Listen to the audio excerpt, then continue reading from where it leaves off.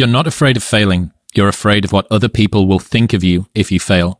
But if you're afraid of that, imagine what they think of you when you aren't even trying. Oh, yeah, they aren't. I'm such a dick sometimes. Um, Does it, is it is it strange to hear your like angry toilet tweets read back to you now in the cold, harsh light of day? God, that was a particularly difficult poo I was cracking out there. You know, real talk, the the tweets that I have, people don't know this, but the tweets are notes to self. Yep. So they're just directed at me so that I can look back on them and like be reminders of like, hey, don't don't do that. And so like I think to myself, man, I'm afraid of doing this. And I'm like, no, I'm not. I'm afraid of what this person's gonna think about me. Because if I were to be able to fail in quiet, in complete isolation, then I wouldn't care. And then I think, well, what if I what if I what if I don't succeed in public? What do they think then? Nothing, right? They don't think about me at all.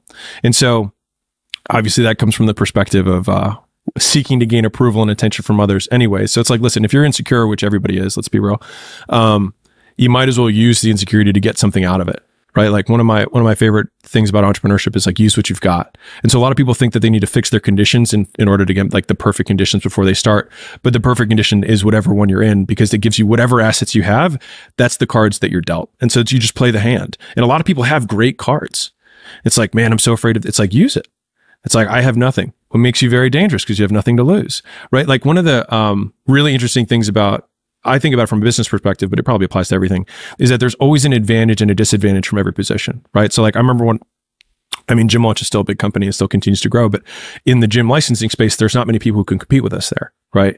And I would talk to guys who are in the space, you know, I would talk, you know, talk at a conference, whatever, and you know, younger guys would be like, "Well, I want to, I want to be in the space too, and it's not fair because you know you have this big advantage." And I was like, you have a way bigger advantage than I do. I was like, because if I were in your position, I would go to every single gym owner and be like, you don't want to be with Gym Launch. You don't want to be with Alex. You're just a number to him. Like, you're never going to talk to him. Like, you're just a cog in the wheel there.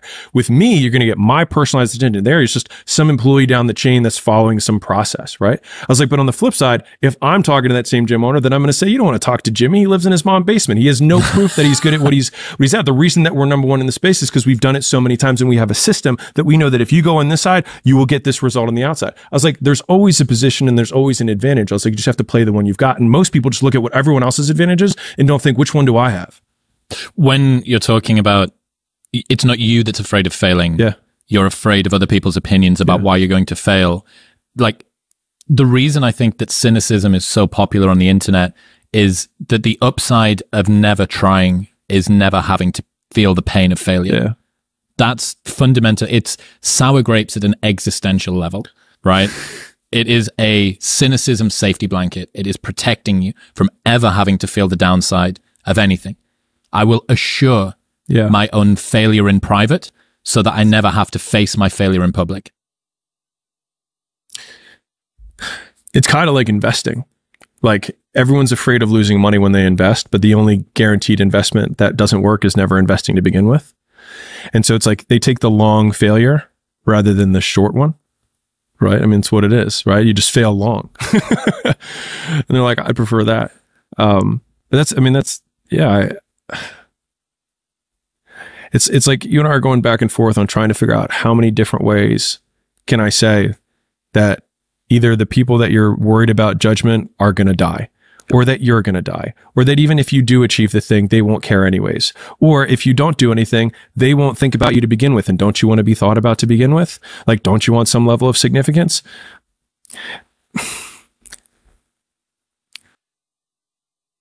I just, you're going to die. And I think like I was, I was very grateful. That, so one of my biggest inspirations or whatever, you know, influences when I was in Baltimore was I would have lunch with my grandfather three times a week. So he was 90, old guy. So I would go to the nursing home and we'd have lunch three days a week. And listening to him talk about the regrets that he had in life, it's so much more painful to watch someone who has no options left. Like he's going to die. I mean, he's to die tomorrow. And he died a couple years later. I mean, like, and he, he lost all his mental faculties, you know, almost sadly. Basically, when I stopped, when I left Baltimore, one of the sad parts is I was one of the only people that kind of like kept him lucid. You know what I mean? And after that, no one really, no one really visited him. No one really did anything. And so I think he, he just rolled downhill. I think the lunches might have been the only thing that he looked forward to. And, um, seeing someone old with no options and nothing but regret. Now, not that he had everything to regret. He had things that he did really well. And I took those things from him.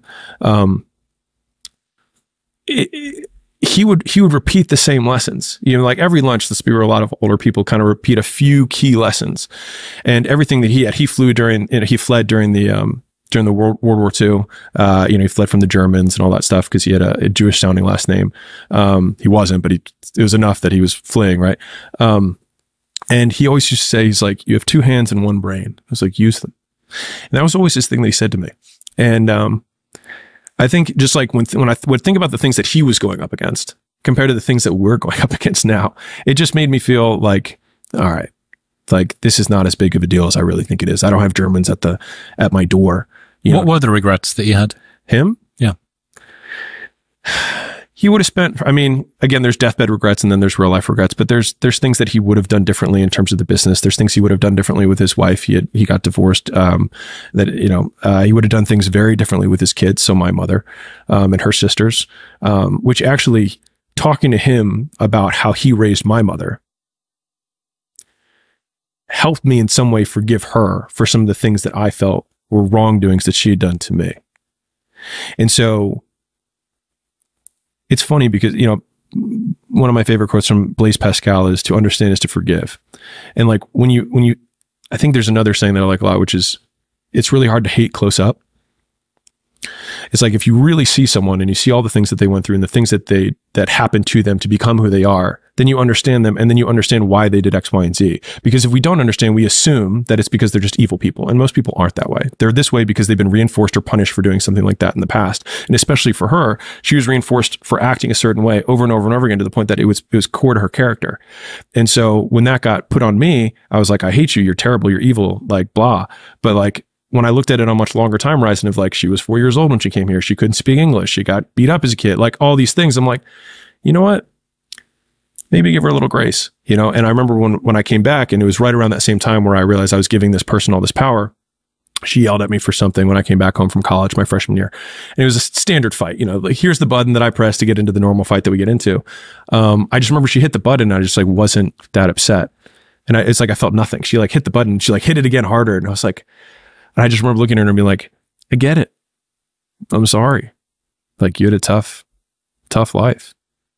And then she just broke down and, you know, started crying because it was like she felt understood.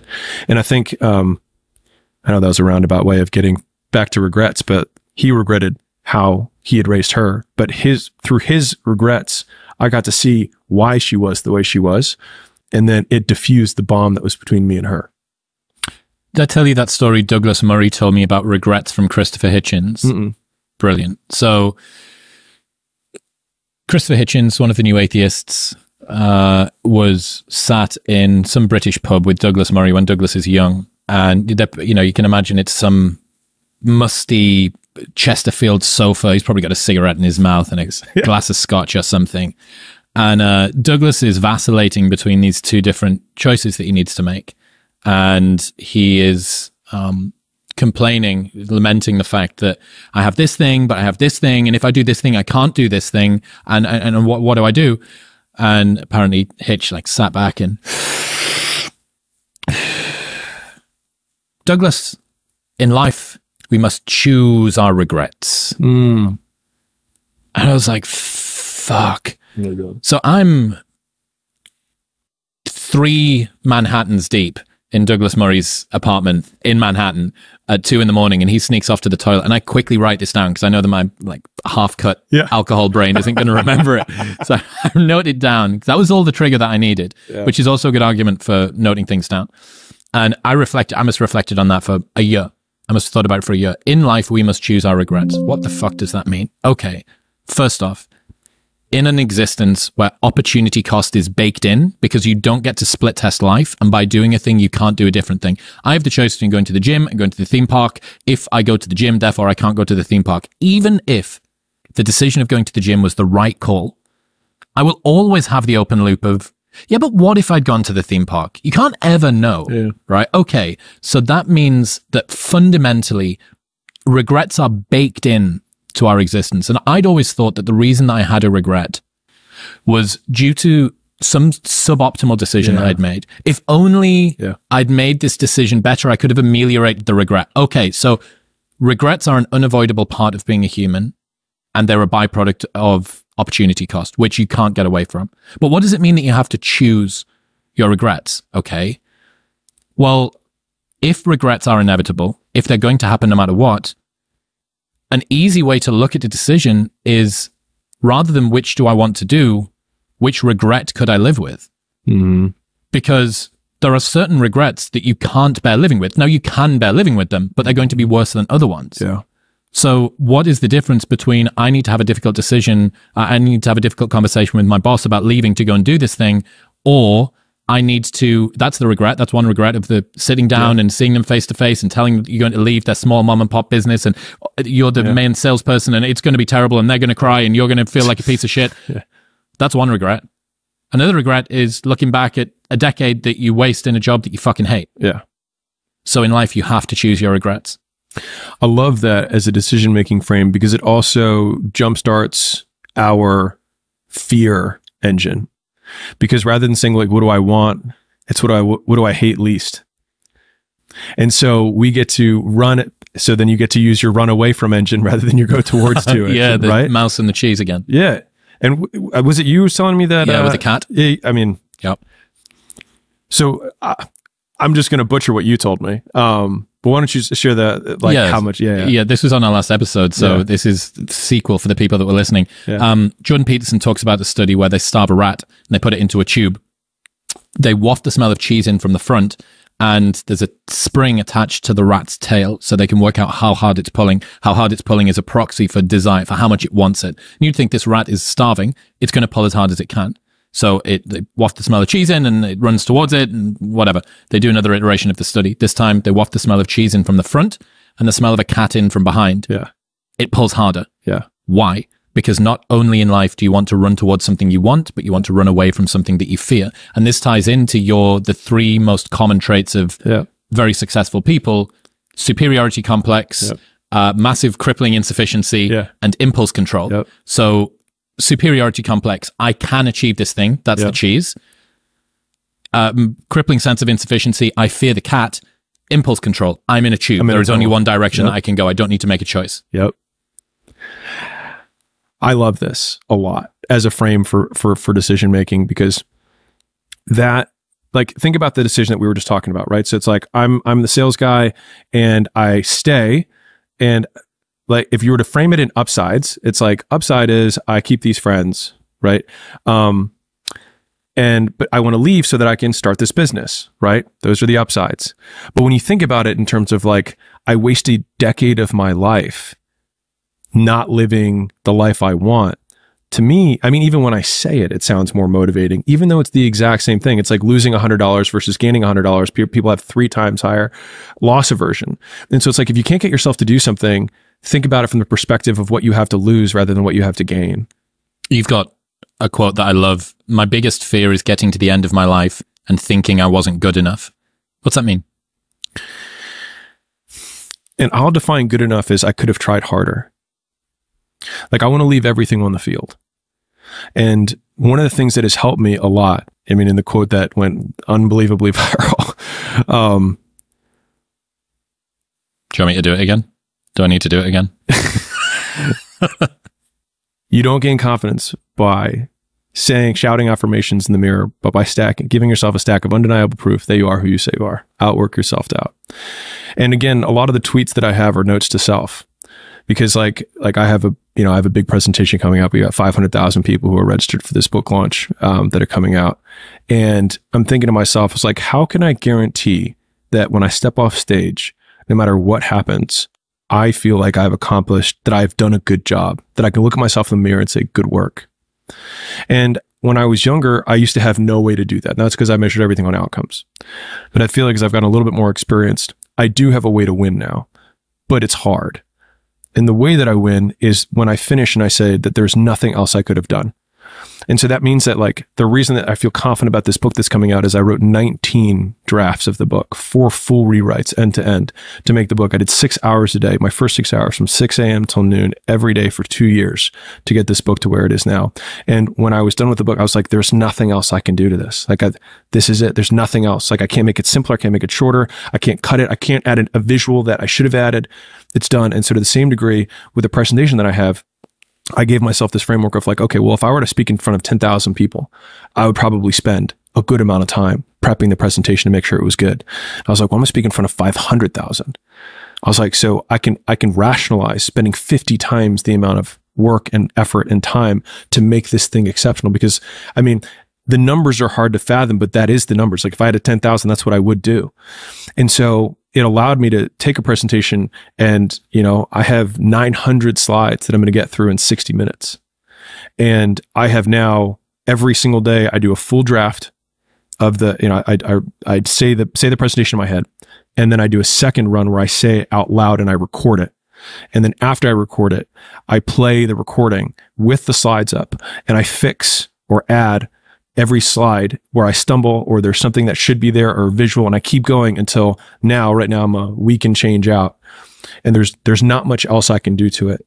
And so I'll still continue to do that from now until the day that it happens, but I probably won't have as many changes because I should just keep nailing it.